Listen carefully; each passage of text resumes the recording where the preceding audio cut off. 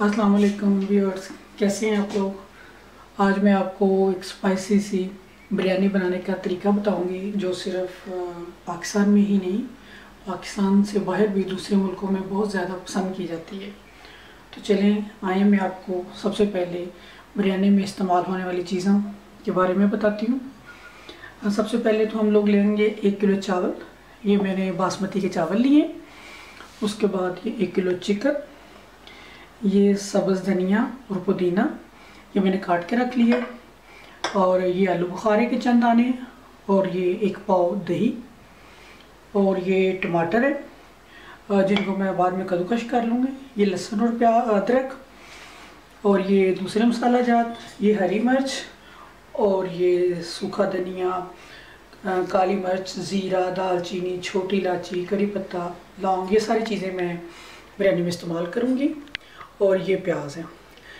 और नाजरी मैं आपको एक बात बताऊँ कि ये सारी चीज़ें मैंने अपनी असली शक्ल में रखी हैं। अब इन सबको मैं बारीक काट लूँगी और ये जो हरी मिर्च है, इसका मैं पेस्ट बनाऊँगी क्योंकि मैं वैसे हरी मिर्च इस्तेमाल नहीं करूँगी क्योंकि मेरे बच्चे खाते हुए इसको बाहर निकाल देते हैं।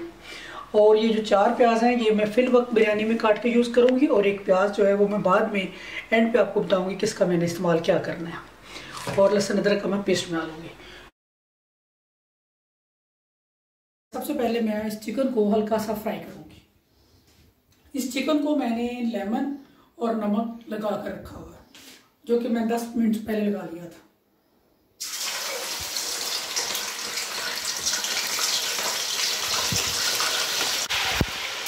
इसको हल्का सा फ्राई करने के बाद मैं आपको दोबारा पाँच मिनट। हाँ ये देखिए, नाजरीन, अब काफ़ी हद तक ये चिकन फ्राई हो चुका है।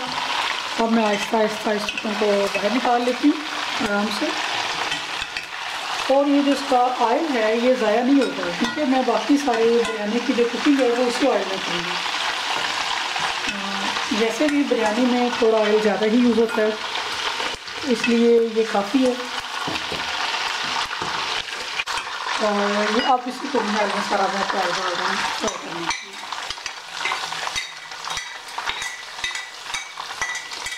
अब हल्का सा ब्राउन करके मैं इसमें बाकी सारे मसाला जात शामिल कर दूँगी। उतनी देर मैं साथ वाले चूल्हे के ऊपर चावल बॉयल होने के लिए रख देती हूँ। ये देखें ये मैंने पानी रखा है गर्म। और इसमें मैं अब दो चम्मच नमक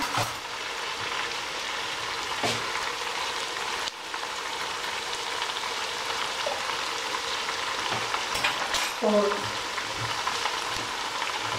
थोड़ा सा लेमन डाल डालूँगी।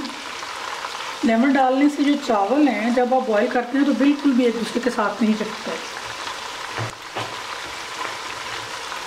बल्कि हर दाना बिल्कुल अलग अलग है।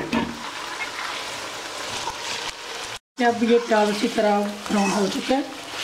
इसमें मैंने लहसुन और अदरक का पेस्ट भी शामिल कर दिया अब इसमें मैं बाकी मसाला जात शामिल करूँगी। आपके सामने ये मैंने बिरयानी के मसाला जात जो थे उनको ग्राइंड कर लिया। ये सारे दूसरे मसाला जात।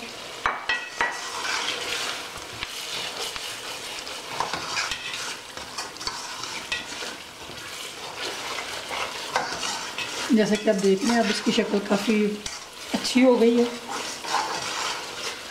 देखने में और मसाला काफ़ी हद तक तैयार हो गया। अब मैं इसमें टमाटर शामिल करने लगी और, अब टमाटर के साथ मैं दो मिनट के लिए अब और ये मैं अब इसमें आलू बुखारा, वो मैंने शामिल कर दिया। अब इसको मैं दो मिनट के लिए डाल के रख दूँगी, ताकि हर चीज़ अच्छी तरह मिक्स हो जाए, और उसके बाद इसमें चिकन शामिल करके इसको भूनेंगे देखिए मसाला अच्छी तरह भून चुका है।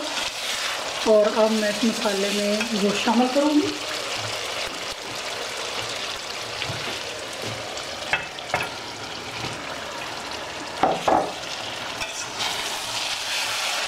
अच्छी खुशबू आ रही है।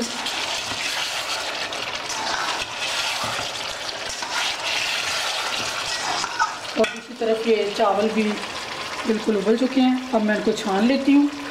ये देखिए अब इनको भी निकाल लेती हूँ और साथ ही इसमें मैं बाकी दही और सब्ज़ मिर्चें जिनको मैंने पेस्ट तैयार किया था वो बनाऊँगी। ये इसमें मैं सब्ज़ मिर्चें डालने लगी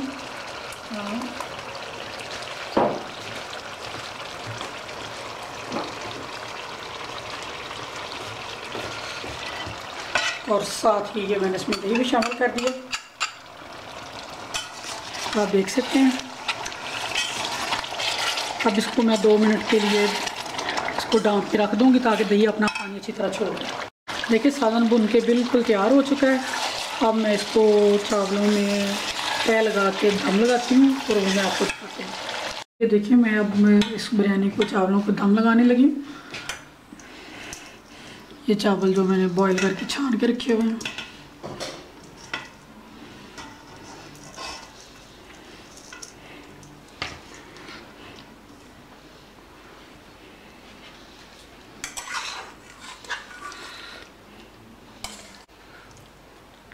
ये इसकी एक अच्छी तरह मैं तय लगा रही हूँ। ये इसमें मैंने धनिया और पुदीना जो काट के रखा था वो डाल दिया। और उसके ऊपर ये प्याज। जो मैंने आपको बताया था कि एक प्याज मैं आपको बाद में बताऊँगी कि इसको कहाँ यूज़ करना है। तो ये प्याज जब आप बिरयानी खाएँगे तो आपके मुँह में आएगा तो आपको बहुत ज़्यादा टेस्ट देगा। ये इसका टेस्ट हर चीज़ से अलग होगा। इस तरह मैं इनकी दो तीन तेल लगाऊँगी चावलों की फिर इनको मैं दम दे दूँगी। बिल्कुल बिरयानी रेडी है दम के लिए अब मैं उसके ऊपर थोड़ा सा लेमन का जूस डालूँगी जो मैंने रखा हुआ था। और फिर इसके बाद इसकी खूबसूरती के लिए आ, मैं इसमें फ़ूड कलर ऑरेंज जो हम लोग जर्दे में यूज़ करते हैं वो रंग डालूँगी। इसकी वजह से इसकी जब आप इसको डिश आउट करेंगे तो बड़ा खूबसूरत कलर नज़र आएगा। और ये पार्टीज़ में वैसे जब आप घरों में दावत की हो तो इसकी बहुत ज़्यादा ज़रूरत होती है। देखिए, ये चावल को दम लग चुका है और एक खूबसूरत सी लुक आपके सामने है। अब मैं आपको डिश आउट करके दिखाती हूँ। देखिएगा। इन अब ये बिल्कुल खाने के लिए तैयार है। आप इसको खाएँ, चखें और ज़रूर बताइएगा कि आपको कैसी लगी।